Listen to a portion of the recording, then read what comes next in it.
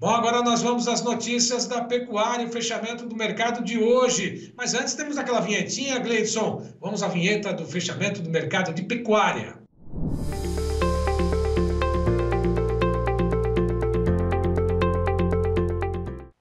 Bom, nós podemos antecipar, inclusive, daqui a pouquinho, nós teremos a participação do Celso Ricardo, mas antes vamos às informações do mercado lá da B3. Negociações a futuro com o boi gordo.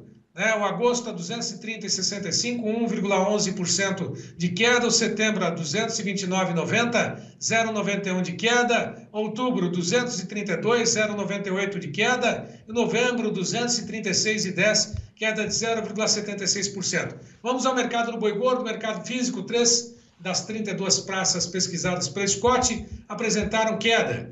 Barretos, Araçatuba, 254 à vista, 256 no aprazo. Norte de Minas Gerais, 205 à vista, 207 no aprazo. Goiânia, 208 à vista, 210 no aprazo. Três Lagoas, 219,50 à vista, 221,50 no aprazo.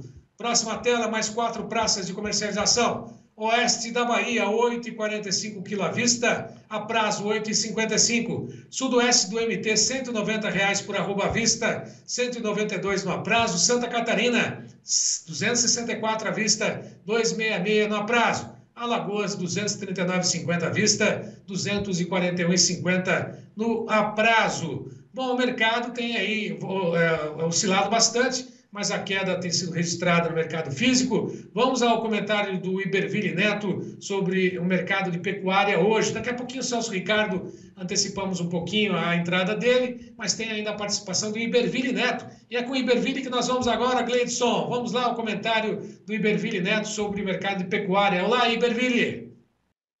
Olá, Braga. Olá a todos. É, Braga, o mercado segue pressionado.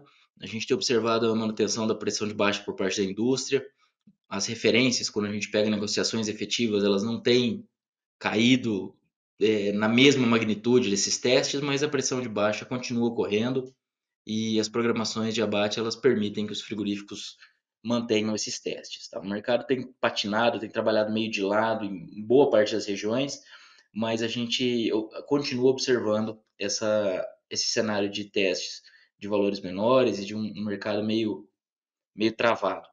Tá? Então, esse, esse seria o cenário da, da pecuária de corte atualmente. E ontem nós trouxemos os dados semanais da, das exportações de carne bovina, que vieram muito bons. E hoje, hoje eu trouxe aqui alguns dados é, relacionados à exportação de carne de aves e carne suína nessa primeira, nesses primeiros dias de agosto.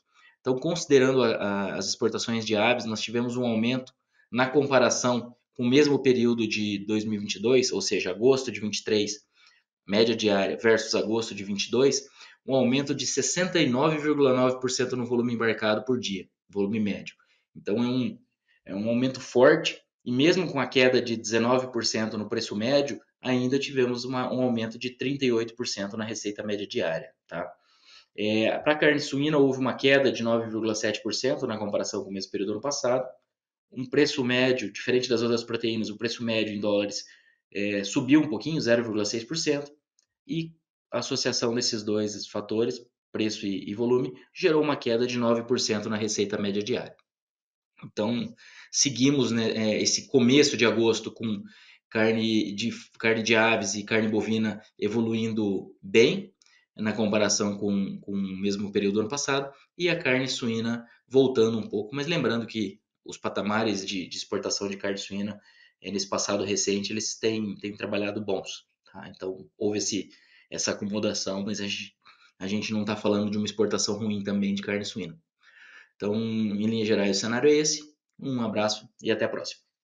Obrigado, Iberville. Até a próxima. O Iberville trazendo informações sobre as exportações e também sobre o mercado do boi gordo, como você acompanhou e sabe, está patinando, está de lado e, ao que tudo indica, ainda não encontrou os pisos, né, ou o piso de preços uh, para esse mês, começo de mês, desse mês de agosto.